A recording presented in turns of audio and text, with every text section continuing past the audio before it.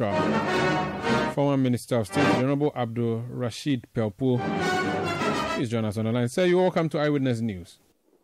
Thank you, Omoro.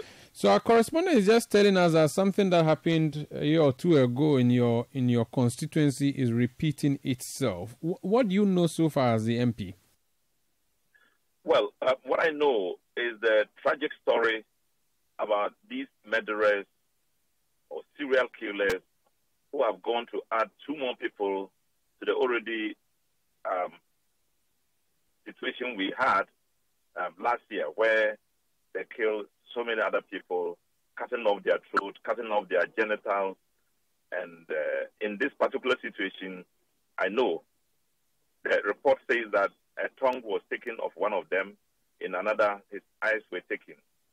And it does seem to me that this is ritual killing, a situation where people believe that by killing other human beings and taking some parts of their bodies, they will either be strong or they will be rich in, in, in that manner.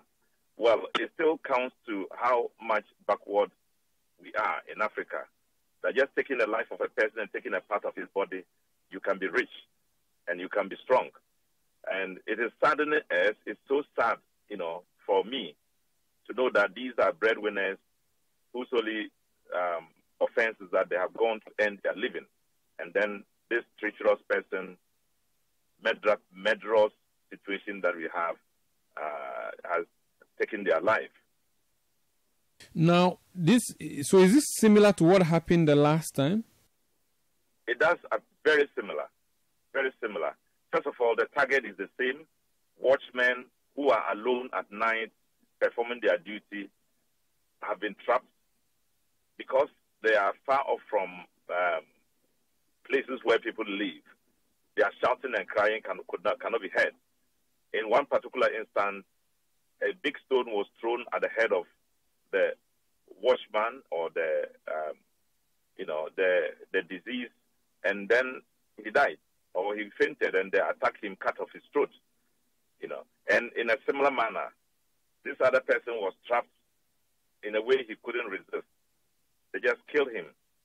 So we we we the, I think that the police must begin to think through this situation that these are people who might not necessarily be living in war and these are people whose beliefs you can easily uh, guess the kind of people they are. It is saddening that the investigation that con- that was um, started about a year and a half ago suddenly got to an end. No report has been made. Nobody has been caught. The few who were suspected have been released, and the tension is still on right now. The lives of people are, in, are, are, are at risk and the security forces appear not to have answers to it. This is very, very disturbing and terrible. But the security people made some arrests. Uh, the the matter leaves their hands as soon as they make the arrest and process the people for court. No.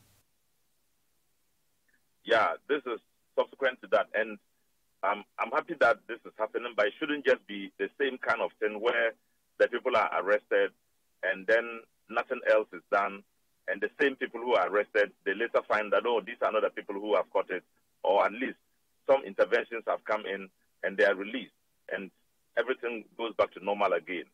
There must be a professional attachment to this investigation. The quality must go high. Somebody has to be seen. Some evidence has to be shown. I know the Ghana police can do it, and uh, it shouldn't just be um, a nine-day wonder of somebody being arrested and then subsequently released.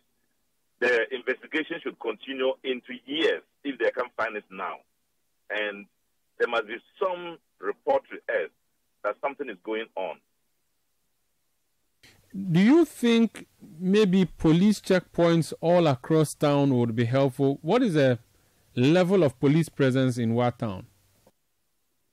Um, the, the, the, we have a good number of policemen in Wa, and uh, but the, I, I cannot confirm their night operation. Night operation sometimes um, is, is non-existent.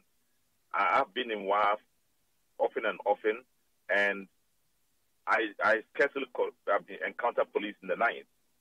And I suspect that the criminals will take advantage of that and do what they are doing. The, the truth is that what people know police do can be avoided by criminals. So the police have to find a way of tracking them and getting them. And it has to be quickly done and it has to be done in a much more smarter manner than anybody would imagine. If we we depend on um, just seeing somebody and looking at him and thinking that he could be the person, suspect him and arrest him, that is not sufficient enough. There must be some um, internal internal scrutiny of what happened. You must be willing to pay people for getting information to us, and we must be willing to investigate every information to the details because the situation is scaring people, is putting the town in a very uh, into a situation of fear, and I, I think that that should not be a situation we know in Wa. Wa is a lively place, very peaceful place. Scarcely do we have such a thing happening. My, my first suspicion is that these are people who have gone to learn something somewhere and are coming to implement it in, in, in, in Wa, or people who have had this situation, practice this situation in some other places, and have moved to Wa and want to implement it. So please, I think that um, the, the, the media should help us to reach out to the police, to reach out to the interior minister, to go beyond the normal policing we do. This cannot be acceptable, and we cannot continue to endure this year after year. Lives are lost, and it, it, it it's becoming normal, a normal situation in our life. It shouldn't be. Okay. You raised it in Parliament today. What was the purpose, and did you get any solutions? Uh, essentially, what we did in Parliament today is to draw attention to Parliament and to the people of Ghana the situation that we have in Wa and to call on the Interior Minister and the police to do more than they are doing now. Um, it shouldn't be business as usual.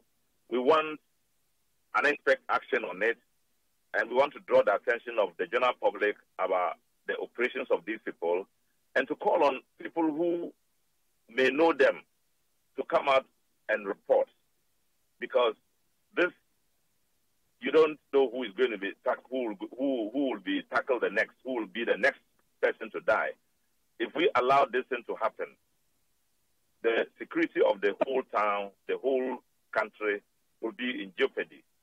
And so it's important for me that through Parliament, I draw attention to it and call on the public and the media and the police themselves to work towards achieving getting the people and getting them through our legal system and getting some punishment to them. So it could be deterrent to the to the to the manner in which they they operate in taking lives just because of something we can't understand.